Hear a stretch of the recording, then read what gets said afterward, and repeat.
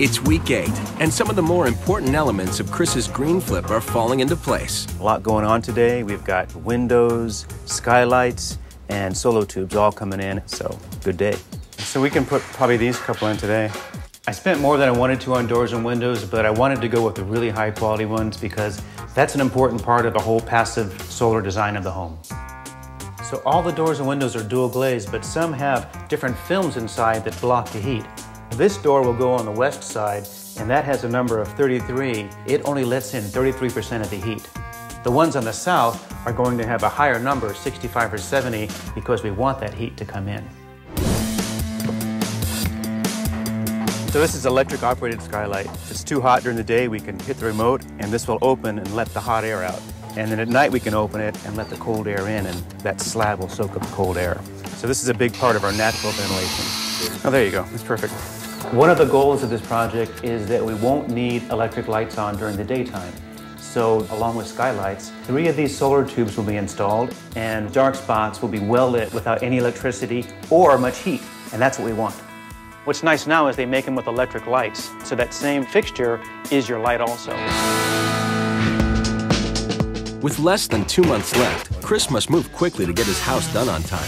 Today we'll be setting tile. We've decided to go with a man-made porcelain tile instead of a natural stone. I love the look of the natural stone, but it's really soft and scratches, where this one is much more durable. It's a trade-off on the environmental eco parts of it because this takes a lot of energy to make. This one has to be mined, but I think durability-wise, this is what we're going with. While the tile is being laid, Chris decides to put a passive solar collector called a Trombe wall in his living room. This is the Trombe wall window, where this window is being used as a heater in wintertime. So when the sun's low in winter, it's going to shine through that window and warm this big block wall on the inside. All these blocks will get stacked on here, and these are pre-painted with a flat black paint that will soak up the heat better than just the gray. And then all night long, that heat goes back into the house, so it's a little passive heater for the house in wintertime.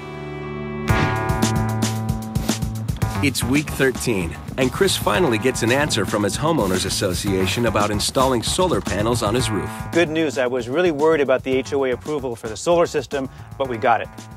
Just like on the space station, the panels that go out, those same types of panels will power our home here. And that electricity is fed right back into the grid and spins our meter backwards.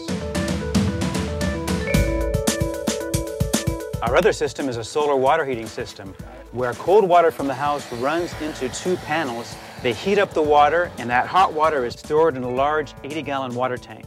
And in winter, we have electric backup. But that tank allows us to have solar heated water 24 hours a day.